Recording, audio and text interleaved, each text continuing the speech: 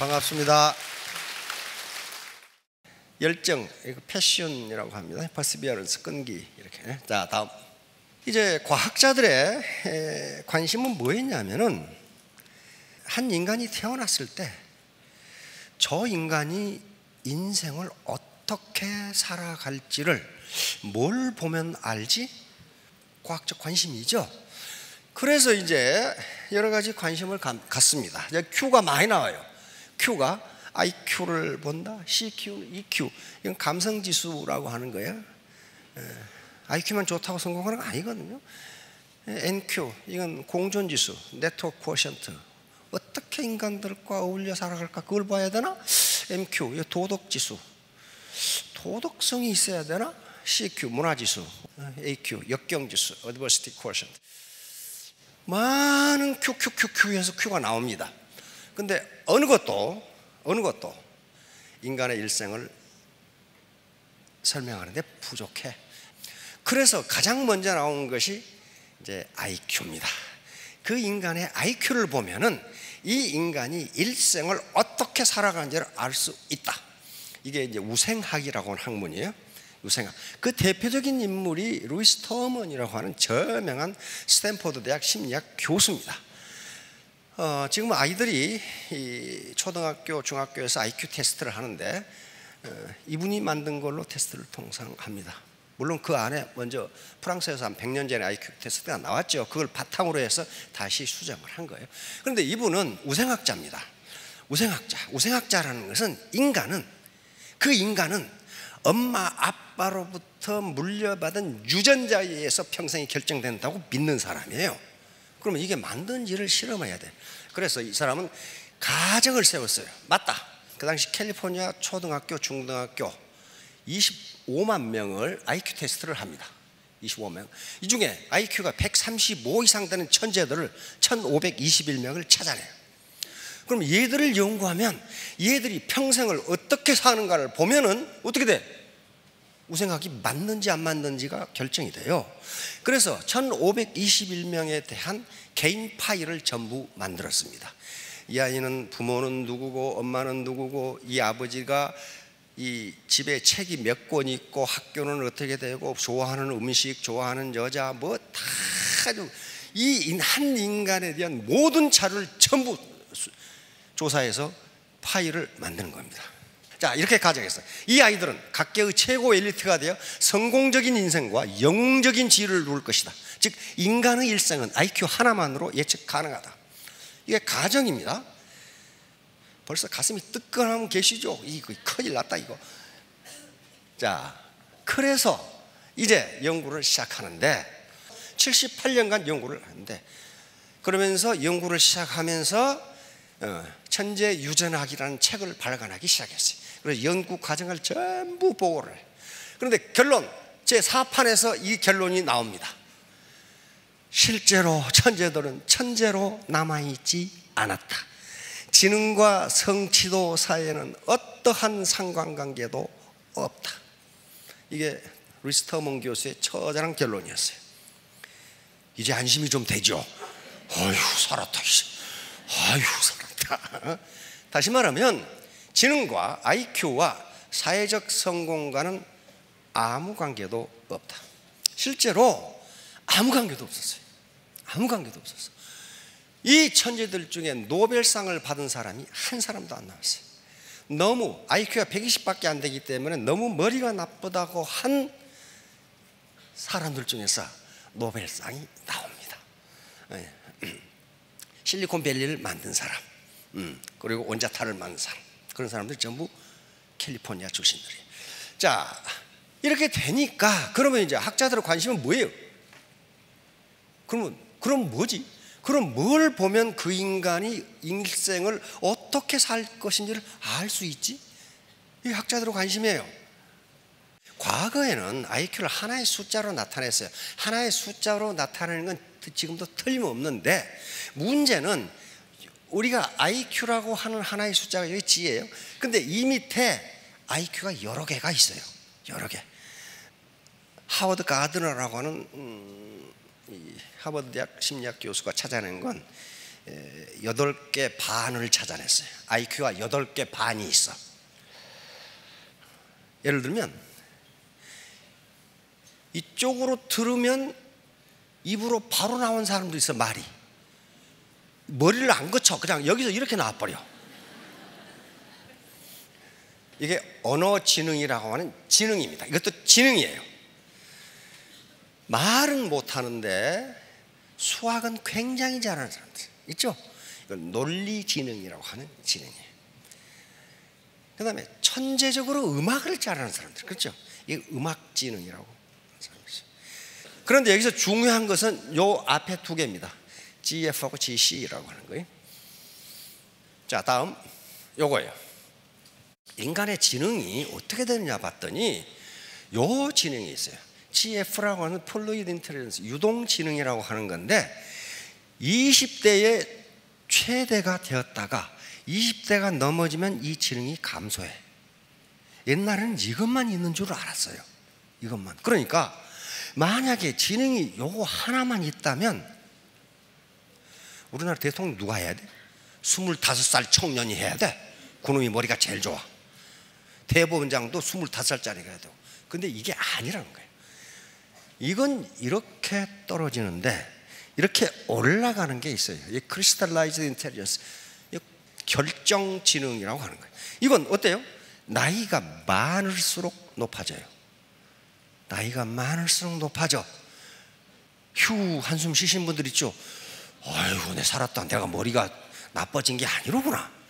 그런데 미안하지만 요게 이렇게 높아지려면 나이를 먹는다고 그렇게 되는 게 아니다 하는 거예요. 계속적으로 오픈 마인드. 새로운 지식과 새로운 정보를 받아들일 때 이렇게 되는 거예요. 이렇게 되는 거란 말이에요. 그래서 종합지능은 어떻게 됩니까? 요것과 요것의 합이에요. 요 중간 어딘가 이렇게 지능이 되겠죠? 되겠죠? 그런데 이게 새로운 정보와 새로운 지식을 받아들이지 않으면 종합 지능이 떨어져. 왜? 왕년밖에 안 찾아요. 왜? 최근 것은 모르거든. 모르거든. 자, 그럼 왜 그러냐는 거예요. 왜 그러냐? 자, 다음. 요 문제예요. 어, 20대가 넘으면 하루에 뇌세포가 10만 개가 돌아가신다고 합니다. 그러니까 아침 점심 아침에 나셔서 지금까지 20대가 넘으신 분들은 뇌세포가 지금 현재 5만 개가 돌아가셨어. 5만 개가 돌아가셨어요. 뇌세포가. 그래서 70대가 되면은 20대 청년보다 뇌의 무게가 30%가 적다고 합니다. 그러니까 그게 이제 골이 빈 거예요, 조금 이제 이렇게 조금 골이 빈 거예요, 이제. 예. 그래서 4차 산업혁명, 다시 말하면 뇌과학이, 예, 생명공학이 발전하기 전에는 50대 이후가, 50대 이후에 공부한다는 것은 시간 낭비다. 그렇게 생각했어요. 그런데 뇌과학이 발전하면서 아니네, 이게 발견된 거예요. 어떤 실험을 했냐면은 건강한 20, 20세와 건강한 70세 뇌 활동을 비교했는데 똑같아. 똑같아. 뇌 지능이 똑같아. 그걸 어떻게 알아? 어떻게 알아? 그냥 얼굴 보고 하는 거? 그것은 뇌의 산소 소비량을 측정하면 압니다. 산소 소비량. 다시 말 또는 뇌의 포도당 소비량, 뇌는 포도당만 쓰니까 포도당 소비량을 측정하면 포도당을 얼마나 소비하는지를 보면은 뇌가 활동을 어떻게 하고 있다는 걸 알 수가 있어요. 그런데 똑같아. 똑같다는 것은 이제 과학자들은 딜레마예요. 어떻게 뇌의 무게가 30%가 줄었는데 어떻게 뇌 활동이 똑같지? 똑같지? 과학자들이 하는 건 이걸 설명하는 거야. 그 원인을 밝혀내야 된다. 그 원인을 밝혀내지 못하면 그건 과학이 아니죠. 밝혀냈어요. 중복성 원리와 가소성 원리라는 것을 밝혀내게 됩니다. 중복성 원리라는 것은 원래 인간의 뇌가 디자인될 때 뇌세포가 뇌세포가 70%만 있어도 제 기능을 다 하도록 만들어졌다는 거예요. 다시 말하면 우리 자동차 바퀴 몇 개로 돌아가요? 네 개. 근데 트렁크에다 스페어 타이어 넣어놨어. 그럼 더 빨리 가나요? 똑같아요. 다시 말하면 30%는 스페어로 달아놓은 것이라 그게. 그러니까 70%만 있어도 뇌 활동에는 전혀 지장이 없다. 또 하나는 가소성 원리예요. 가소성이라는 것은 플라스틱을 구부릴 때 열을 가해서 구부리면 잘 구부러지죠. 근데 열을 제거하면 어때요? 다시 원래 돌아가요? 그대로 가만히 있어요. 그걸 가소성이라 그래. 다시 말하면 새로운 정보와 새로운 지식을 받아들이면 그것을 저장하기 위해서 신경망이 새로 생긴다 말이에요. 신경망이 새로 생겨. 거기에 저장하기 위해서. 그러니까 뇌가 스마트해진다는 거예요. 자, 다음. 그래서 이제 지금 100세 시대에 제일 문제가 되는 게 뭡니까? 치매예요, 치매. 지금 학자들이 얘기한 것은 우리 모든 장기를 갈아 끼울 수 있다고 봅니다. 어, 심장이 나쁘면 3D 프린터로 응? 만들어가지고 갈아 끼우고 간도 갈아 끼우고 폐도 갈아 끼우고 다 갈아 끼운다 이 말이야. 근데 뇌는 못 갈아 끼워. 왜 그래요? 뇌는 일종의 자기 정체성, 자기 아이덴티티입니다. 뇌를 갈아 끼우면 옛날에 있던 기억이 다 없어져. 그렇죠? 그러니까 자기 정체성, 자기 아이덴티티가 없으면 그걸 자기라고 할 수 없어요. 어떻게 자기야 그게? 그럼 뇌를 갈아 끼우면 한글을 알아 몰라요? 몰라. 몰라. 전혀 몰랐어. 갓 태어난 아기가 세상에 처음 보는 것이야, 전부 다. 처음 보는 것이야. 문제는 그러니까 이걸 기다리기 전에 뇌가 노화하지 않도록 하는 게 현재로서는 최선의 방법이야. 어, 최선의 방법. 그런데 KBS에서 이걸 하더라고. 뭐예요? 꾸준한 정보 자극을 주라. 이 뇌과학자, 우리나라에서 뇌과학 연구소 많습니다. 이렇게 하면 뇌에 새로운 신경망, 신경회로망이 생긴다. 그래서 뇌가 프레시해지고 머리가 스마트해진다. 스마트해진다. 두 번째 뭐예요? 사람들과 친밀한 관계 유지, 소통, 대화, 교류. 그런데 또 그것까지 연구했더라고. 자기가 대하는 사람이 괴팍하면 괴팍할수록 머리가 좋아진답니다. 어. 그 뭘 가지고 그걸 연구했냐면 형제가 많은 집의 아이들이 사회성도 좋고 이해성도 좋고 배려를 잘한다 이거야. 그래서 왜 그런가를 연구했더니 형제가 같은 엄마 배에서 나온 형제라도 성격이 다 다르다네. 좋아하는 음식도 다르고 성격도 다르고 잘하는 거 다 달라. 그러니까 형제가 많으면 그걸 전부 안답니다. 저놈은 뭘 좋아하고 뭐 할 때 성질 내고 뭐 하고. 그래서 그걸 전부 익혀. 어, 그래서 거기에 맞게 돼. 그러는 경우에 뇌가 훨씬 프레시해진다고 합니다. 그러니까 자기 파트너 중에 영 괴팍한 사람이 많으면 고맙습니다 하고 인사를 해야 돼. 그, 그 사람 응? 비유 맞추려면 많은 연구를 해야 돼. 아무튼 그런 것들에 자 이제 그러면 IQ가 인간의 일생을 결정하지 않는다면 뭐가 인간의 일생을 결정하냐는 게 학자들의 연구 대상입니다. 그 대표적인 인물이 어, 안젤라 도커스 박사입니다. 펜실베니아 대학 심리학 교수인데 이, 이 사람은 원래 하버드 대학을 그 수석으로 졸업한 사람이에요. 중국계 미국인인데요. 그래서 이 미국에서 연봉이 가장 높다는 보스턴의 맥킨지 컨설팅 그룹에 들어갑니다. 엄청나게 주죠 거기는. 음. 근데 이분은 어, 하버드 대학 다닐 때부터 자기의 천직은 소외된 아이들을 가리키는 것이 자기 천직이라고 생각하는 거예요. 미국에 그런 사람이 많아요. 그래가지고 그 많은 연봉을 받는 맥킨지 그룹을 때치우고 뉴욕에 뉴욕 중학교 1학년 7학년이죠. 어, 수학 선생으로 가게 됩니다. 또 영국에서 분자생물학을 전공하고 그래서 석사학위를 가진 분인데 그래서 근데 거기서 이상한 현상을 발견합니다. 역시 학자적 관심이에요. 수학 점수와 IQ가 관계가 없어. 자기 자기가 예측하기를 IQ가 높은 학생이 수학 점수가 제일 좋으리라고 생각했는데 그렇지가 않아. 안 그렇다고. 그래 의문을 갖기 아니 수학 점수라는 건 뭐예요? 사회적 성취도입니다. 사회적 성취도가 IQ와 사회적 성취도가 관계가 없네. 그럼 뭐지? 이걸. 또 다른 고등학교로 가서 수학 선생을 하면서 테스트 해봤는데 역시 똑같아. IQ와 수학 점수하고는 관계가 없어. 관계가 없어. 아, 이게 뭔가? 그러면 인간의 사회적 성취, 사회적 성공을 그 결정하는 요소는 무엇이란 말인가? 그래서 이제 교사를 사표를 내고 펜실베니아 대학, 음, 펜실베니아 대학으로 심리학과의 연구를 시작합니다. 인간의 결, 일생을 결정하는 요소는 무엇인가? 음.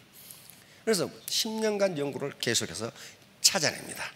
그래서 찾아낸 게 그릿이라는 걸 찾아냅니다. 다시 말하면 그 어떤 것도 이것보다 더 강력한 변수가 없다는 거예요. 그래서 뭐예요? 열정과 끈기예요. 열정과 끈기. 열정과 끈기를 당할 어떤 변수도 없단 말이에요. 자, 사회적 성공을 예측할 수 있는 가장 중요한 것에서는 사회적 지능도 아니었고 좋은 외모도 아니었고 육체적 건강 상태도 아니었고 IQ도 아니었습니다. 그것은 바로 그릿이었습니다. 열정과 끈기. 그릿 끝까지 밀고 나가는 열정과 끈기. 그릿은 목표를 향해 매우 오랫동안 나아갈 수 있는 열정과 끈기입니다. 그것은 지구력입니다. 그릿은 해가 뜨나 지나 당신의 미래를 물고 늘어지는 겁니다. 단지 한 달이 아니라 몇 년에 걸쳐 꿈이 현실이 되도록 진짜 열심히 일하는 겁니다. 그리스는 인생을 단결이 경주가 아닌 마라톤처럼 사는 겁니다. 예. 유튜브 들어가면 이 연설이 나와 있습니다. 자, 다음. 재능은 그릿과 상관관계가 없다. IQ하고 그릿하고를 또 이분이 다시 비교 연구를 했더니 IQ가 높은 사람이 오히려 그릿이 떨어지더라는 거예요. 왜냐하면 이해를 굉장히 빨리 하니까 물고 늘어지는 게 없어. 없어. 빨리 하거든, 그냥. 그러니까 나중에 실패한단 말이에요. 그 케이스가 많이 있습니다, 미국에 하면은. 자, 이게 이제 이 연구가 나오면서 과거에 있었던 마시멜로 테스트가 다시 각광을 받게 됩니다. 마시멜로 자셔 보셨나요? 미국 애들은 굉장히 좋아하고 그걸 이렇게 꼬챙이에 끼워서 이렇게 구워 먹기도 하고 그런 거예요. 그런데 역시 스탠퍼드 대학의 월터 미셸 교수라는 분이 마시멜로 테스트를 하게 됩니다. 이분의 목표는 무슨 음, grit을 찾아내고자 하는 게 아니었어요. 어린 아이들의 그 참을성, 인내심을 어떻게 키울 수 있을까? 그걸 지금 중점을 두고 이분이 스탠퍼드 대학 교수였기 때문에 스탠퍼드 대학에 그 병설 유아원이 있어요. 유치원보다 조금 한 단계 낮은 4살. 그래서 4살짜리 어린이 600명을 대상으로 요 실험을 합니다. 어린이들이 4살짜리 어린이가 15분을 참는다는 것은 거의 그, 그 기적에 가깝답니다. 그러니까 각 방에다가 어린이를 집어넣고 거기는 통제하는 사람이 아무도 없어요. 맛있는 마시멜로를 책상에 놔두고 요걸 15분간 안 먹으면 두 개 줄게. 15분간 안 먹고 참으면 두 개 줄게. 그런데 어린이가 맛있는 마시멜로를 앞에 두고 15분 참는 건 거의 기적에 가깝답니다. 자, 이 아이 표정을 보세요. 지금, 응? 그, 이렇게, 이렇게 보고 있는 거예요, 지금. 그러다가 이제 절망 이걸 먹지 말라고 먹지 말라고 그러다 결국 애따 모르겠다 먹자. 이렇게 돼버린 거예요. 그래서 이 월터 미셸 교수는 실험을 해보니까 3분의 1은 어린이 600명, 3분의 1은 들어가자마자 먹어버려. 3분의 1은 참다가 먹어버려. 3분의 1만 참아. 끝까지 참았어. 그래서 이 실험은 그냥 넘어갔어요, 그러게. 근데 13년이 흐른 뒤에 이 딸들이 아빠한테, 아빠, 어느 날, 우리 그때 실험에 참가한 애들이 어떻게 살고 있을까? 그렇게 물은 거예요, 갑자기. 어떻게 살고 있을까? 아니, 월터미 설교 갑자기 궁금해졌어요. 이놈들이 어떻게 살고 있지? 그래서 추적을 시작합니다. 그때부터 이 마시멜로 테스트가 유명해지기 시작한 거예요. 이 실험으로 유명해진 게 아니에요, 지금. 13년 후에 그 참았던 3분의 1이 건강하기도 하고 고등학교, 대학도 좋은 데 가고 좋은 회사에 취직해서 승진도 빠르고 모든 사회 활동이 훨씬 뛰어나. 못 참았던 애들은 마약이나 알코올 중독, 감옥에 들어가 있는 애들이 많고 그런 애들이 많아. 깜짝 놀란 거예요. 그래서 아니 이게 15분 참는 게 뭐가 지금 어떻게 된 거야 이거? 그러면서 다시 계속 연구를 시작. 이놈들이 어떻게 살아가는지를 이제 추적하기 시작하는 거예요. 그랬더니 참았던 3분의 1이 계속 사회적 승진도 빠르고 잘 살아. 가정 생활도 굉장히 원만해.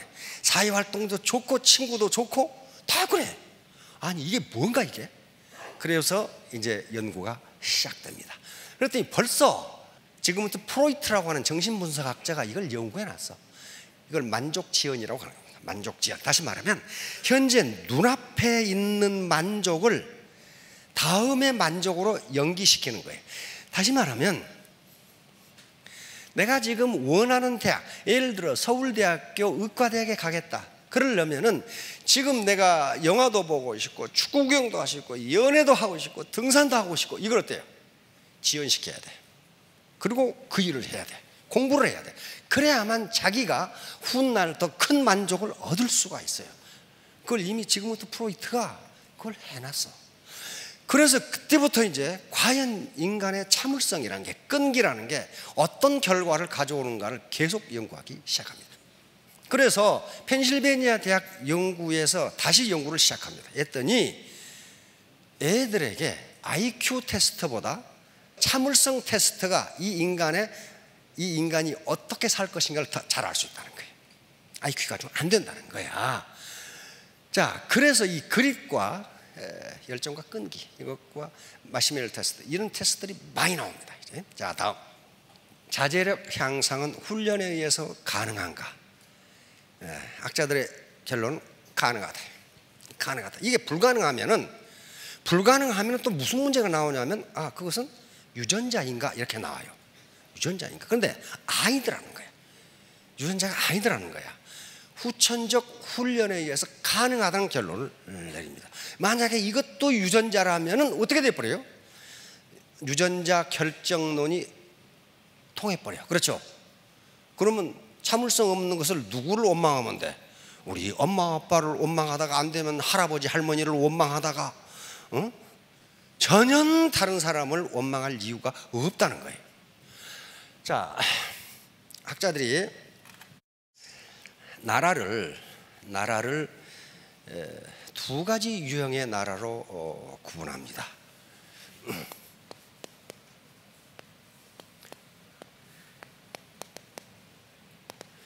이게 뭐예요?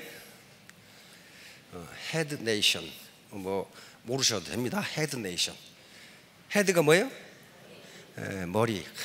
참 잘하시네. 영어 굉장히 잘하시네. nation은 국가. 아. 머리를 써서 먹고 사는 국가. 어떤 나라가 있어요? 음, 미국, 일본, 독일,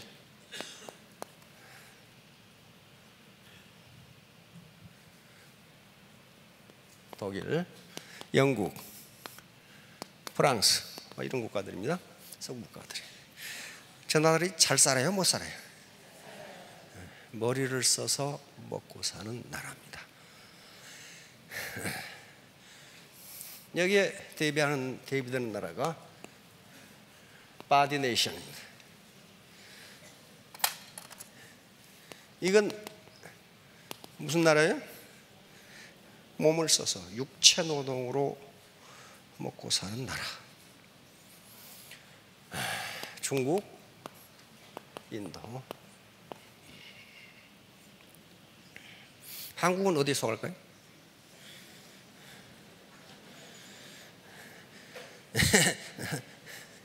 이건 미국 학자들이 한 거니까 한국. 어딜까요? 한국은 0.5, 0.5입니다, 지금. 만약에 한국이 body nation이라면 어떻게 될까요? 지금? 중국 13억 당할 수 있어요? 못 당해요. 인도 13억 당해요? 못 당해요. 베트남 1억 당해요? 못 당해요. 필리핀 1억 못 당해요. 몸으로 못 당해요. 뭘 해야 돼? head. head는 뭘 의미하냐 하면은 혁신을 의미합니다. 혁신, 창의성, 혁신, innovation.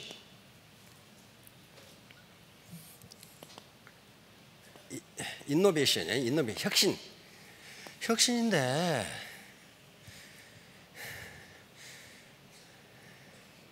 나는 뭐냐 이게 나. 요건 나라 그렇다는데 나는 뭐냐? 나는 머리로 먹고 사느냐 몸으로 먹고 사느냐 거야. head person, body person. 그런데 여기서 어, body body 몸으로 먹고 사는 게 나쁘다 그런 게 아닙니다 지금 아니에요. 애터미는 애터미는 뭘 요구하냐 하면은 음, head head plus body body plus heart입니다. 이게 뭐예요? 머리 공부, 몸 공부, 마음 공부예요. 요 셋 중에 하나만 없어도 성공 못 합니다. 절대로 못 해. 그건 절대야, 절대. 조 지라드 사람이라는 사람 제가 가끔 언급을 했죠. 조 지라드. 조 지라드라는 사람이 있어요. 이 사람은 음, 학력이 중졸입니다. 그리고 자동차 딜러가 됐는데 이 사람의 업적을 지금도 못 깨요. 연, 연 12년, 연 12년 기네스북에 등재됐으니까 평균 하루에 자동차를 6대씩 팔았습니다. 많이 팔 때는 60대를 팔아 하루에. 그러니까 어때요? 15년 만에 은퇴를 하고 많은 책을 쓰고 어, 큰 회사에 자동차 회사에 강연하고 이런 사람입니다. 역대 대통령들이 전부 이분을 백악관으로 초대해서 식사를 같이 한 분이에요. 오바마도 초청을 했는데 트럼프는 아직 초청을 안고, 안고 있더라고. 하도 바쁜 사람이라 그 사람은. 어. 그런데 이분이 쓴 책들이 굉장히 많아요. 국내 많이 번역돼 나왔는데 이분이 뭐라고 얘기했냐면은 부지런한 것만으로 성공할 수 없다. 머리를 쓰는 부지런함이 아니면 절대로 성공할 수 없다. 이런 말을 하고 있어요. 절대로 성공할 수 없다. 자, 그러니까 head 이거 부지런하다는 것은 body는 아주 기본이에요. 기본, 기본 body. 아침에 30분 일찍 센터에 출근해서 환기하고 청소하고 밥 짓고 그 손해인 것 같죠? 손해 아닙니다. 몸으로 뛰어야 돼. 그런데 이 heart가 뒷받침해 주지 않으면 다시 말하면 내가 내 파트너들과 동반 성공하겠다. 이웃에 대해서 내가 봉, 봉사하겠다는 생각 없이 나만 잘 먹고 잘 살겠다. 그렇게 해서 돈이 벌리면 좋은데 안 벌린다는 거예요. 문제는 안 벌려요. 음. 그래서 태도가 가장 중요한데 태도는 마음가짐이에요. 마음가짐, attitude, 마음가짐이에요. 네, do just now. 이게 상한선이 있기 때문에 나부터 시작이에요. 언제나 나부터 시작이에요. 내가 1번이에요. 내가 1번. 다른 기업은 그렇게 안 됩니다. 어. 두 번째, do together. 여러 사람이 제심합력하기 때문에 성공해요. do together. 같이 하니까 성공하는 거예요. 세 번째, 예, 간절한 마음으로 하라. burning desire. 아주 불타는, 불타는 욕망. 내가 반드시 부자가 되어야 되겠다는 ardent desire. 이걸로 해야지 뭐 되면 좋고 뭐 안 돼도 그만이고 그건 안 되게 돼 있어요. 마지막으로 뭐예요? Do not give up. 절대로 포기하지 마라. 포기하기 전까지는 실수를 하지만 포기하는 순간 실패를 합니다. 그렇죠? 그러니까 포기할 때까지는 내가 실패한 게 아니에요. 예. 그것도 음, 다음 시간에 할 mindset이라는 이론이 있습니다. 어떻게 어떻게 내 passion과 perseverance, 열정과 끈기를 기를 것이냐 하는 문제를 또 다른 심리학자가 또 연구했습니다. 그것은 당신의 마음에 달려 있다는 결론이 나왔어요. 자, 3년, 5년 후에 모두 성공하시 바랍니다. 감사합니다.